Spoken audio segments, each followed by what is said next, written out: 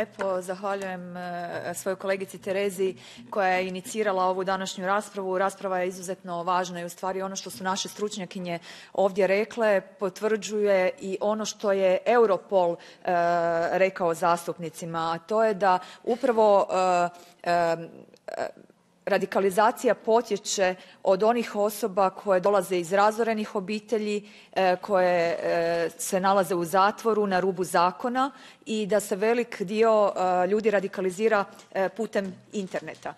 Postoje mnogobrojna istraživanja koje je izradio i Europski parlament i druge institucije. Vi izrađujete istraživanja, no čini se da kao da jednostavno to ne dolazi do, do onih koji donose odluke, da jednostavno e, oni ne shvaćaju da je potrebno konkretno nešto poduzeti e, i e, djelovati aktivno na terenu. Jer evo i gospođa Carola Garcia Calvo je spomenula da ustvari u Španjolskoj, na primjeru Španjolske, a to smo vidjeli na primjeru Belgijske kod terorističkih napada, radikalizacija je došla od onih koji su rođeni na europskom tlu. Dakle, nisu oni došli jučer iz neke druge države. Oni oni su rođeni ovdje, rasli su ovdje e, i mislili smo da su integrirani, no dogodilo se to da oni nisu integrirani. I očigledno smo e, mi u tom dijelu pali kao društvo jer e, oni ne smatraju Europsku uniju E, svojim domom, ne smatraju naše vrijednosti svojim vrijednostima i tu je pitanje e, što možemo poduzeti.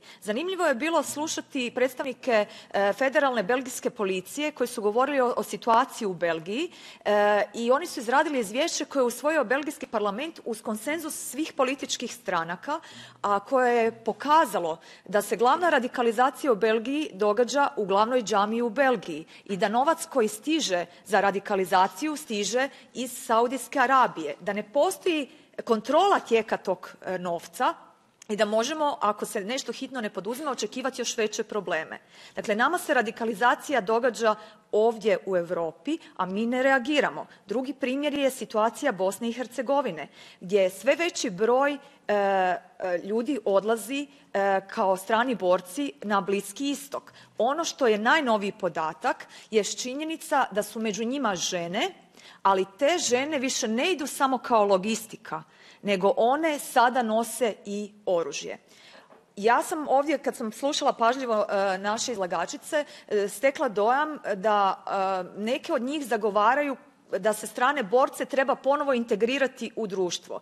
Ja osobno smatram da oni koji su otišli kao strani borci e, da se ne mogu više vratiti na europsko tlo jer su oni izvor radikalizacije. Oni radikaliziraju e, druge ljude i to je, e, to, to su pokazala neka izlaganja koja smo danas ovdje imali priliku čuti. I samo bih željela pitati obzirom da se bavite tom temom koja je vrlo osjetljiva da li ste doživjele da zbog toga što otvoreno govorite o radikalizaciji primate prijetnje radikalnih islamista?